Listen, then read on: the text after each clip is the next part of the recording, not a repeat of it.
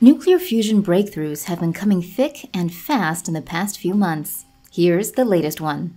The UK based Joint European Torus Laboratory has broken its own world record for the largest amount of energy extracted from a nuclear fusion reaction, according to the BBC, more than doubling the previous record set in 1997. The experiment was able to generate 59 megajoules of heat over 5 seconds by fusing two isotopes of hydrogen, known as deuterium and tritium, to form helium gas. Though this is only about enough energy to boil 60 kettles worth of water, Mark Wenman, a reader in nuclear materials at Imperial College London, told The Guardian, it operated as proof of concept. Five seconds doesn't sound like much, but if you can burn it for five seconds, presumably you could keep it stable and keep it burning for many minutes, hours, or days, he said. Adding to this, the BBC explains that, crucially, the record validates design choices at the larger International Thermonuclear Experimental Reactor being built in France. The massive ITER facility is supported by a number of governments across the world, including EU member states, the US, China, and Russia, and is hoped to be the final step in proving nuclear fusion can become a reliable energy provider in the second half of this century. According to its CEO, if the joint European Torus Laboratories experiments hadn't proved successful, there would have been major doubts about the chances of success at the ITER, so the new record represents a relief for many involved in both projects. Broadly, fusion reactions mimic the process by which energy is created within stars, fusing together atomic nuclei rather than splitting them as in nuclear fission reactions that drive existing nuclear plants. As a result, nuclear fusion is seen by many as the great hope for a future of clean energy production because it does not produce greenhouse gases and the very small amounts of radioactive waste it produces do not last for a long time. Doubts around its viability persist, though, because the huge gravitational pressures which facilitate fusion reactions in the core of stars cannot be reproduced on Earth, which means temperatures for generating the reactions must be prohibitively high to make up the difference, and sourcing fuel is another potential stumbling block, as while deuterium is abundant in seawater, tritium is extremely rare, according to The Guardian. One solution of the second problem is that the future fusion plants, such as the ITER, plan to make their own tritium fuel by using high energy neutrons released when deuterium and tritium fuse to split the common metal lithium into tritium and helium. One solution to the first problem is trapping superheated gas or plasma inside a donut shaped magnetic field, and in this area, China's tokamak fusion reactor has just made a major breakthrough. Nuclear fusion breakthroughs have been coming thick and fast in the past few months. Here's the latest one. China's $1 trillion experimental advanced superconducting tokamak fusion reactor has superheated a loop of plasma to 70 million degrees Celsius, or five times hotter than the sun, for a new record of just over 17 minutes, according to Live Science, breaking the previous record of 390 seconds set by France's Tore Supra Tokamak in 2003. Nuclear fusion involves using extremely high pressures and temperatures to induce collisions between hydrogen atoms to make helium, which sees matter converted into light and heat.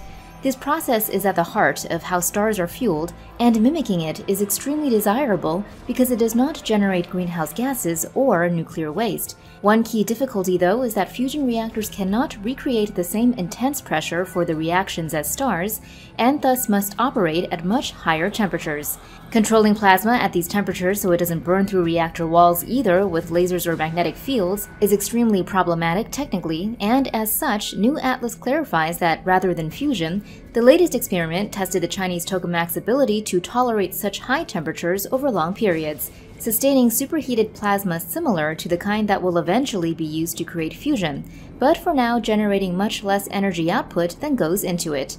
Live Science explains that the Chinese device is ultimately being used to test out technologies for what is currently the world's largest fusion project, the International Thermonuclear Experimental Reactor in France, which is expected to come online in 2025. Nevertheless, its progress remains impressive. The new record, announced on December 31st, adds to a previous record set in May when the same device reached a record plasma temperature of 120 million degrees Celsius for 101 seconds, which was unprecedented. Of course, in the world of fusion development, this is the tip of the iceberg. As different projects around the world move forward, doubts persist about whether fusion will ever really be possible, and major creative solutions will be required if it is ever to genuinely get off the ground. OneZero explains, for instance, that even if the technology does continue to develop as hoped, there are significant upcoming issues with sourcing the two types of hydrogen that fusion relies on, with deuterium found in seawater but tritium extremely rare on Earth. The solution in that case might be that scientists could eventually use the helium-3 isotope as an alternative fuel, mining it either from the moon or asteroids out in space, but it's easy to see why people have their doubts. The only possible reason to consider spending so much time, money, and human effort on something so difficult is that potential benefits of success are just so massive. For perspective, experts suggest just one liter of seawater could produce the energy equivalent of two barrels of gasoline if fusion reactors can be made to work. Alongside this, as mentioned above, fusion reactors generate almost no waste, and any waste they do produce can be recycled into raw material for new reactions. The other 99% of material produced by fusion reactions is hot steam that converts into electricity via the use of turbines, becoming clean water once it cools off.